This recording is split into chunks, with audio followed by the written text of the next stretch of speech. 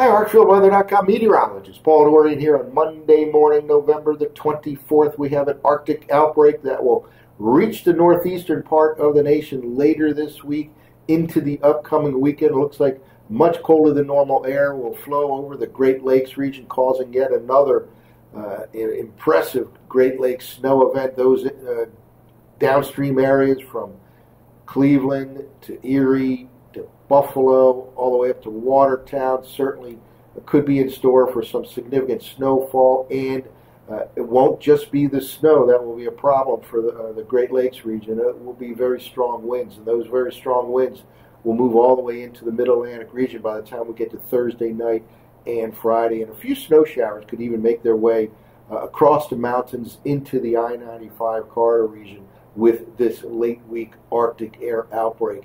We've been talking about uh, a couple of things with respect to longer term look at the uh, temperatures in the month of December, uh, specifically a stratospheric warming event that is indeed uh, taken place, and there'll be kind of a reinforcing stratospheric warming event over the next few days. We'll talk about that here up front, and we'll take a, a look again at the Madden-Julian oscillation, which uh, takes a look at, focuses on the tropical forcing over the uh, equatorial part of the planet and how it could impact the uh, temperature pattern across the U.S. later in the month of December. First of all, here's a look way at the top, top of the atmosphere, 30 millibar level. This is stratospheric temperatures as we stand right now here on November the 24th. You have this area of warming right over here. Now, just to get oriented, the North Pole is right in this area right here.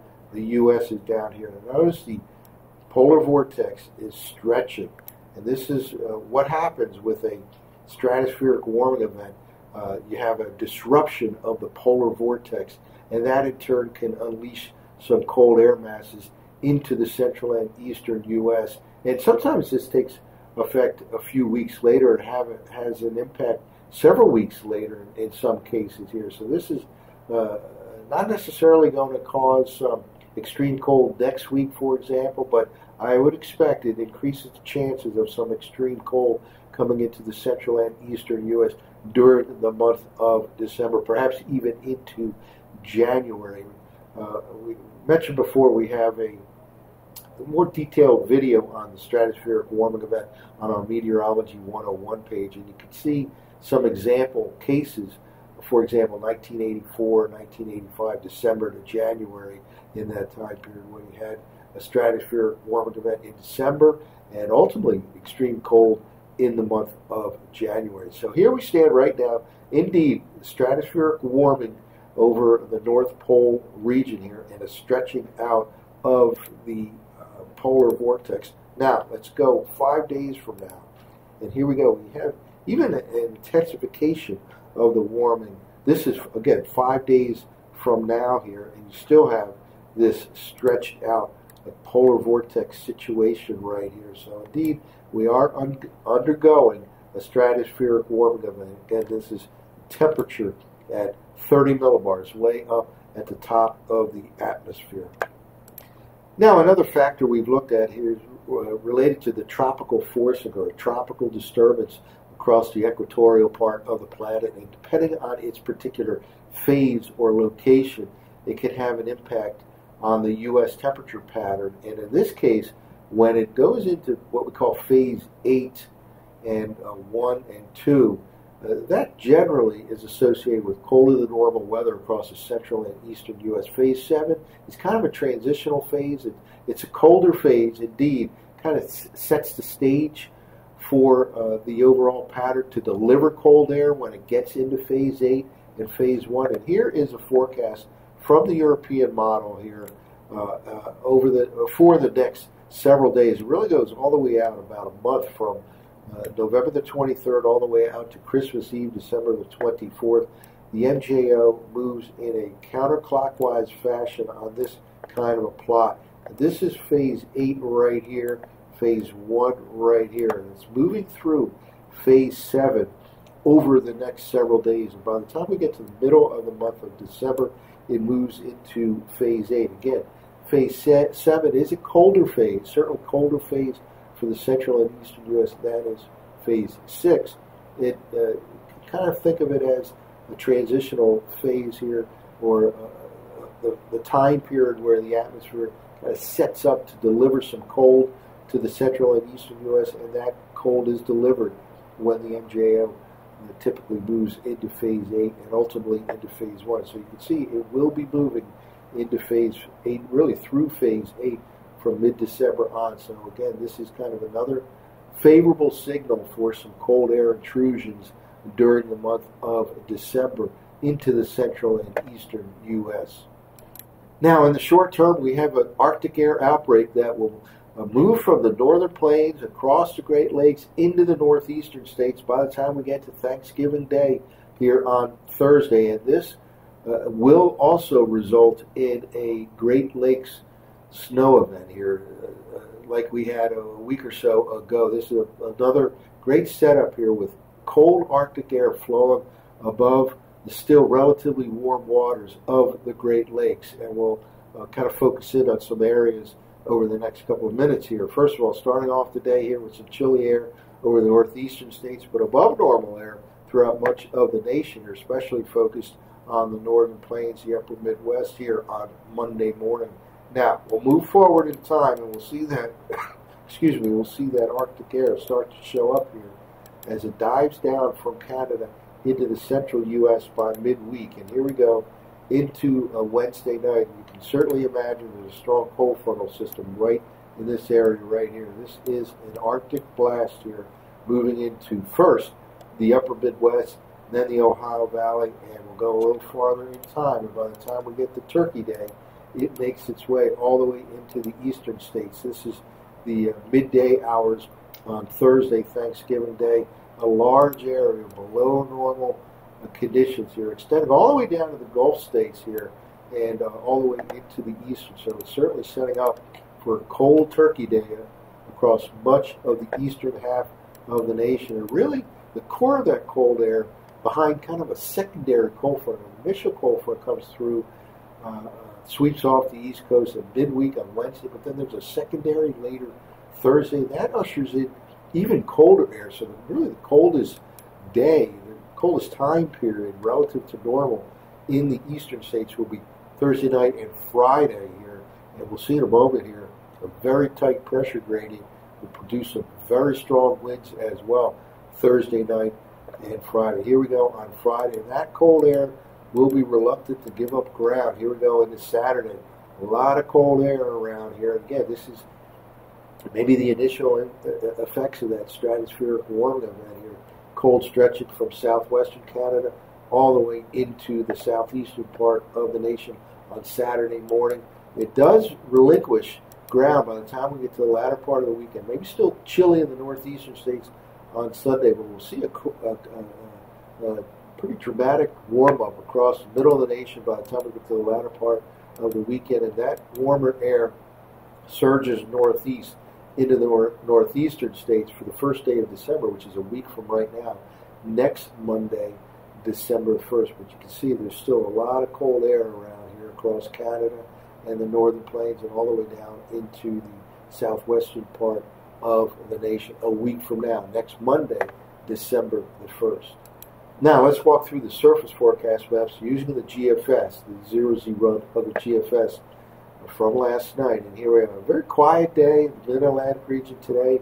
Chilly, yes, frosty morning here. Temperatures a little bit below normal, really uh, just a slight bit below normal to near normal in the big cities. Let's say D.C., Baltimore, Philadelphia, New York City, within a couple degrees of the seasonal norm. That'll change by th- Thanksgiving Day. Now, we'll move forward in time. We have a nice rain event coming to the Mid Atlantic region again any rain will be welcomed in the Mid Atlantic region. It looks like tomorrow afternoon, tomorrow night, into the day on Wednesday. I expect the steadiest and heaviest rain will be from later tomorrow through tomorrow night, and then more of a scattered shower uh, likelihood on Wednesday in the Mid Atlantic region. But again, a nice welcome rain event here coming to the Mid Atlantic region, still well below normal for the last few months in D.C., Baltimore, Philadelphia, New York City with respect to total precipitation amounts. Then here we go, midweek on Wednesday. here's a strong low moving over the Great Lakes, and we have a strong cold frontal system right here. And again, this is kind of an initial cold front that'll come through, sweep off the coast uh, by later Wednesday, but there'll be a secondary push behind it. This is Arctic air right here flowing in. Look at this pressure gradient setting up as of midweek across the western Great Lakes. Just very, very powerful winds to go along with those snow bands that undoubtedly will form just downstream of the Great Lakes. And here we go into the day on uh, into uh, Wednesday night. Here's that initial frontal system right here by Wednesday night, clearing the coast on Wednesday night, paving the way for a cold turkey day all the way in the Middle Atlantic region. Here we are on Thursday, midday on Thursday. Now you have this low pressure system right here, uh, a strong fetch of air, northwesterly winds on the backside of that low. You're already starting to see a midday on Thursday snow band starting to show up here on the models here.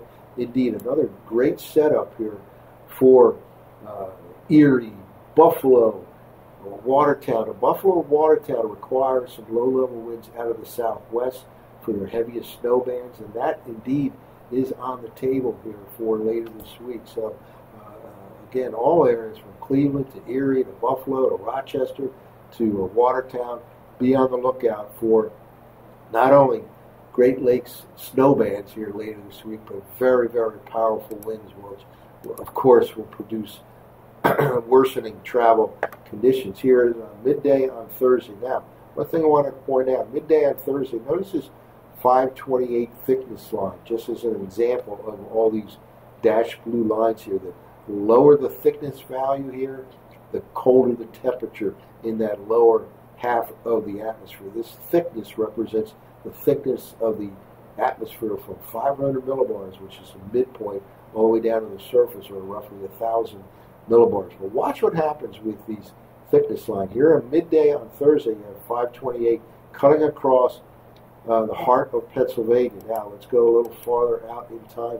And here we go. By the time we get to Friday morning, 522 thickness now, all the way down into uh, central Virginia, cutting across the Mel- Delmarva Peninsula. In other words, it's getting colder between Thursday and Friday morning here. And indeed, that is because there's a secondary cold front that actually ushers in a little colder air. So it'll get uh, while Thursday will be unseasonably cold, it gets even colder Thursday night and Friday in the Middle Atlantic, in the Great Lakes, Northeast U.S. as well. Look at this pressure gradient here. We have this 995, uh, 994 millibar low here over southeastern Canada as of Friday morning, 1033 high. This is a tight pressure gradient between the two, and this will result in uh, very strong winds Thursday night and Friday throughout the Great Lakes, the Middle Atlantic, northeast U.S. I expect at least 40 mile per hour winds here, and th this will uh, th this uh, powerful wind scenario here will be also associated with these heavy snow bands. Again, places like Buffalo, Watertown, you could have a little component of southwesterly low-level winds, so you could have some intense snow bands in those particular areas. Now, some of these snow showers can perhaps make their way all the way across the mountains the Appalachians into the I-95 corridor region, let's say Thursday night and Friday, to go along with those very strong winds and unseasonably cold temperatures. We'd be lucky to reach 40 degrees in places like D.C., Baltimore, Philadelphia, New York City on Friday. It's well below normal for this time of the year. Here we go. Notice this snow band makes its way all the way into northeastern PA midday on uh, Friday here again, very tight pressure gradient here. And uh, that chill certainly lasts right into the upcoming weekend. The winds will start to relax Friday night and Saturday in the northeastern part of the nation, but uh, it's certainly still below normal temperatures on Saturday, probably even Sunday as well here. And then uh, we'll have to watch by the time we get to the latter part of the upcoming weekend for a lot of moisture over the middle of the nation. And this is where we start to see that kind of warm surge of air out, out ahead of this low pressure area by the time we get to late in the upcoming weekend and the early part of next weekend. And we ought to see some milder conditions by Monday, which is a week from right now, December 1st, in the uh, mid Atlantic region on the backside of this departing high pressure area with a lot of snow, uh, potential for a lot of accumulating snow in much of the nation by the latter part of the weekend uh, into the early part of next week by um, much of the nation. I should be more specific across much of the northern U.S. here by the early part of next week. Something we'll monitor over the next several days. But a cold turkey day setting up all the way from the Great Lakes and Middle and Northeast U.S. Uh, Thursday, and it gets really windy by the time we get to Thursday night and Friday. And watch out, the Great Lakes snow machine will be turned on once again with this late week Arctic air outbreak. That's it for now. For ArcFieldWeather.com, this has been meteorologist Paul Dorian.